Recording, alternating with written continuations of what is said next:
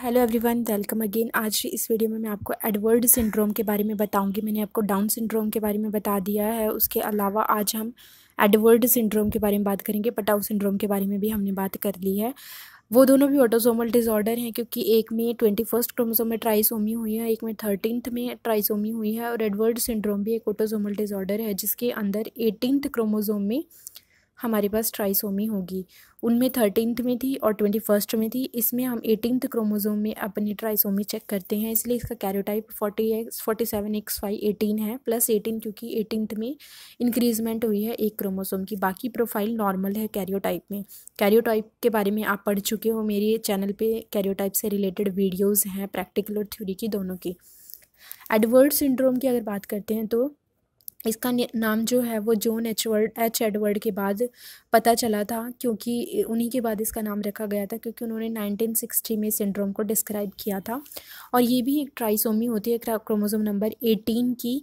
और इस Edward syndrome का जो रेट है वो इंक्रीज़ हो जाता है मदर के एज के इंक्रीज़ होने के साथ।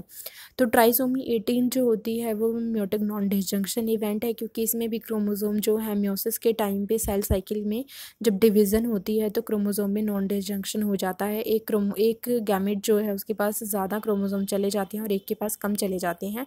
तो नॉन डिसजंक्शन की वजह से ट्राइसोमिएटिन हो जाता है।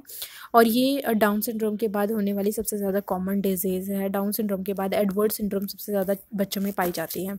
यहाँ पर आप इसके सिंड्रोम के सिम्टम देख सकते हो, देखो। आई होप आपको ये दिख रहा है। ट्राइसोमी एटीन में जो बच्चा होता है, जो पेशेंट होता है अनयूजली उसका स्मॉल हेड होता है, बहुत छोटा हेड होता है, उसका हेड जो होता है, पीछे से प्रोमिनेंट होता है। डाउन सिंड्रोम में वो फ्लैट था, लेकिन इस एडवर्ड सिंड्रोम में उस बच्चे का जो हेड होता है, वो पीछे से बहुत पॉइंटेड होता है।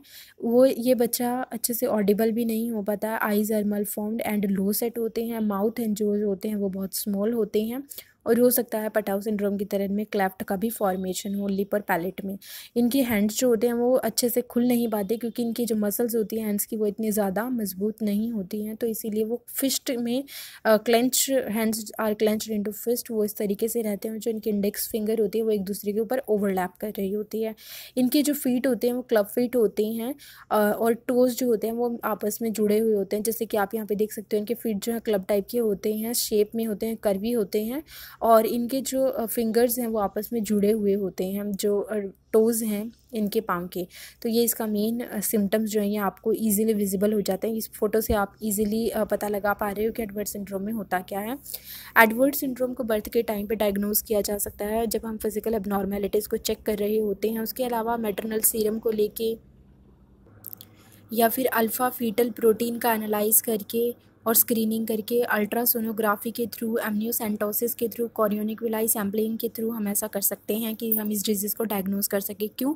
क्योंकि इस टाइम पे प्लेसेंटा जो होता है, वो मदर के अंदर बहुत थोड़ा, बहुत छोटा होता है और जो एमनियोस एमनियोटिक फ्लूड्स फ्लूड होता है, वो बहुत ज़्यादा बढ़ जाता है। जो प्रेगनेंट वीमेन होती है, अगर उसका बच्चा जो है, वो इस तरीके की डिज़ीज़ से अफेक्टेड है तो इस कंडीशन में हम कॉरियोनिक विलाई सैम्पलिंग एमनियोसेंटोसिस इन सब की हेल्प से पता लगा सकते हैं कि पेशेंट में ट्राइसोमी होने का पूरा चांस है।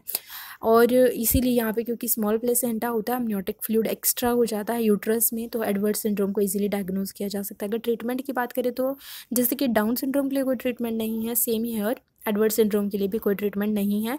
जो 90 टू 95 परसेंट बेबीज़ होते हैं, वो डाई हो जाते हैं within a year of birth and the few infants that do not that do survive need physical treatment उनको बहुत लंबे टाइम तक फ़िज़िकल ट्रीटमेंट की ज़रूरत होती है, उनको मस्कुलर थेरेपी करवानी पड़ती है नर्वस सिस्टम के लिए उनको डॉक्टर की जो एडवाइस लेनी पड़ती है। तो इन बच्चों के लिए जो है थोड़ा सर्वाइव करना मुश्किल होता है।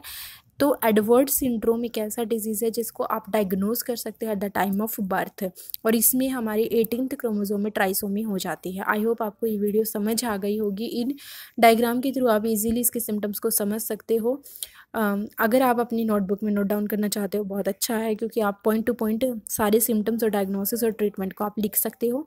कैरियोटाइप में सिर्फ़ आपको बताना होता है कि हाँ इसमें इस वाले क्रोमोजोम में इतने वाली ट्राइसोमी हुई है या मोनोसोमी हुई है। मोनोसोमी का केस भी हम आगे पढ़ेंगे दैट इज़ टर्नर सिंड्रोम तो आई होप आपको ये चीज़ समझ आ रही होगी। Thank you friends